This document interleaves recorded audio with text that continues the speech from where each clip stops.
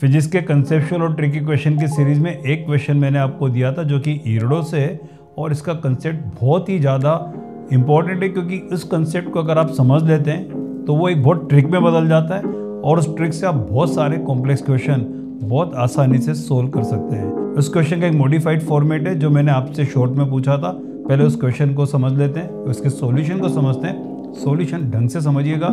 समझने में शुरुआत में थोड़ा सा कॉम्प्लेक्स लग सकता है परंतु एक बार समझ में आ गया तो रॉकेट लग जाएँगे आपकी लाइफ में।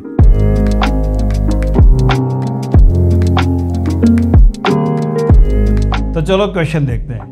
क्वेश्चन ये था कि एक ब्लॉक है जिसका मास है उसको एक रैंडम सरफेस पे छोड़ा गया है। ये रैंडम सरफेस रफ है और ब्लॉक और सरफेस के बीच में जो कोफिशेंट ऑफ़ फ्रिक्शन है, उसकी वैल्यू को म्यू दिया हुआ है। तो पूछा गया कि जब ये ब्लॉक ऊपर से नीचे तक आता है तो फ्रिक्शन के अगेंस्ट कितना वर्क किया गया?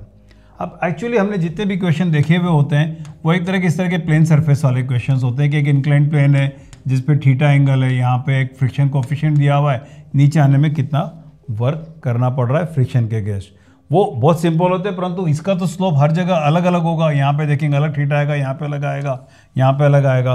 तो हर मोमेंट पे फ्रिक्शन बदल रहा है, क्योंकि जो थीटा होगा, उसके अकॉर्डिंगली एमजी के कंपोनेंट बदलेंगे और एमजी के कंपोनेंट के अकॉर्डिंगली नॉर्मल रिएक्शन बदलेगा और नॉर्मल रिएक्शन के साथ साथ फ्रिक्शन फोर्स बदलेगा। यानी ये फ्रिक्शन वेरिएबल फ्रिक्शन हो जाएगा।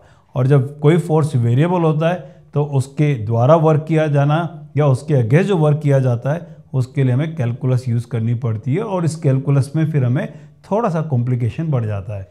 परंतु ये उतना कॉम्प्लेक्स नहीं है जितना हम सोचते हैं। तो चलिए देखते हैं कि मान लेते हैं यहाँ से ये स्लिप करते हुए यहाँ तक आ गया और इस पोजीशन पर ये पहुँच चुका है। यहाँ पर अगर हम टेंजेंट डालते हैं तो उसका एंगल यहाँ पे ठीठा आता है। तो ठीठा एंगल स्लोप है एमजी के कंपोनेंट करेंगे तो ये तो हो जाएगा हमारा एम जी साइन ठीठा ये हो जाएगा हमारे पास एम जी कोस थीटा और ये हो जाएगा नॉर्मल रिएक्शन और normal reaction M G cos theta के बराबर होगा तो फ्रिक्शन हो जाएगा mu M G cos theta correct तो वर्क डन अगेंस्ट फ्रिक्शन अगर हम देखते हैं वर्क डन अगेंस्ट फ्रिक्शन अगर देखा जाए कि फ्रिक्शन के अगेंस्ट कितना वर्क हो रहा है तो देट स्मॉल वर्क उसमें मान लीजिए थोड़ा सा ही स्लिप पड़ता है यहाँ पर हल्का सा डीएल डिस्टेंस से। ये डिस्टेंस डीएल मान लेते हैं कि डीएल यहाँ से स्लिप करता है। मैं थोड़ा सा कलर चेंज कर लेता हूँ समझाने के लिए कि मान लीजिए डीएल यहाँ से यहाँ से इधर डीएल नीचे आता है।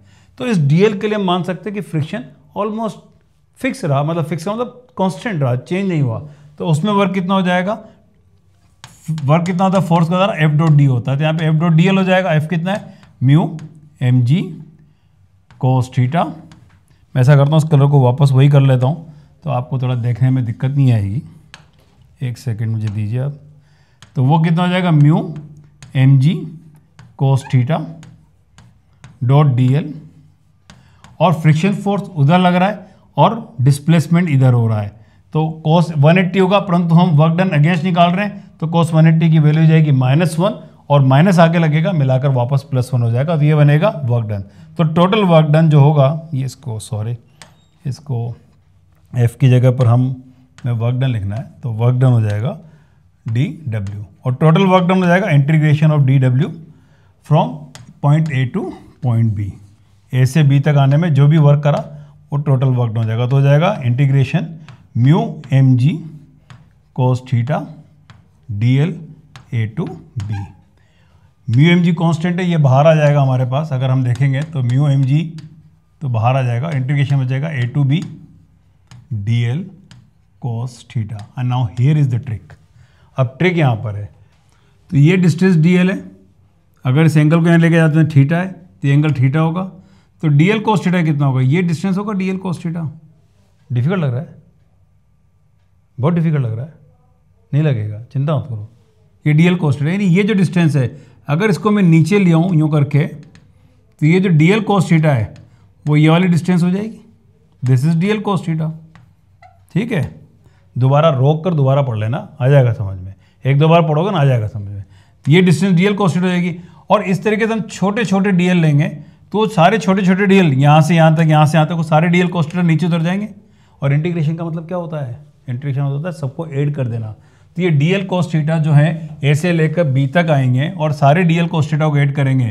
तो ये सारे ऐड होकर ये डी एल कोस्टीटा एक का, दूसरे का, तीसरे का, चौथे का, पांचवे का, ऐसे करते करते आ जाएँगे। तो ये सारे डी एल कोस्टीटा का इंटीग्रेशन यानी समेशन कितना हो जाएगा? एल हो जाएगा।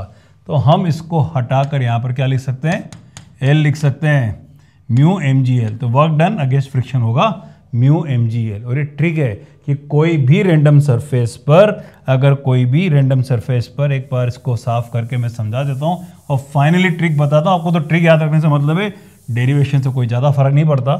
तो फाइनल ये होता है कि कोई भी रेंडम सरफेस पर कोई भी ब्लॉक अगर स्लिप करके नीचे आता है और हॉरिजेंटल डिस्टेंस ट्रेवल एल करता है फ्रिक्शन कोफिशिएंट म्यू है तो work done against friction against बोल रहा हूँ। म्यू एम जी एल होता है. This is a trick and using this you can solve many question quickly practice के लिए मैं आपको इस तरह के क्वेश्चन और दूँगा. आप अपने नीट और जेई की तैयारी को इसी तरीके से बनाए रखिए और मैं लेकर आता रहूँगा फिजिक्स के कंसेप्शुअल ट्रिक और धांसु क्वेश्चन ताकि आप पाएँ बेस्ट रैंक इन जेई और नीट लगातार.